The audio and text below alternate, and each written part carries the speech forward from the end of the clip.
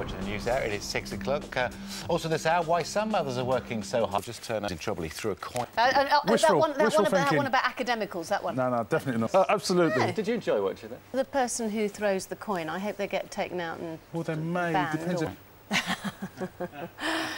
Uh, the time is 13 minutes past six. Prince Charles reaches a milestone tomorrow. He'll celebrate his 60th birthday, and despite being the oldest Prince of Wales in history, it seems many people think he should wait his turn to become king. In a special survey in association with the Daily Mirror, nine out of ten people who responded said the Queen should not step aside for Prince Charles. Almost three quarters also said they didn't want Camilla to become Queen when he finally takes the crown. Here's Richard Gaisford.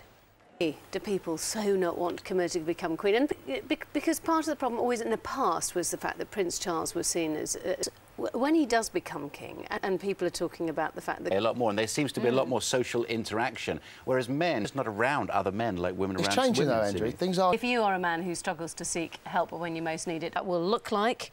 Uh, It's a this bit is what's- downward, isn't it? That. That is, yeah, rather an unpleasant looking. Uh, but but then look, it does bounce back up again to about the sort of same. hurtful, hurtful.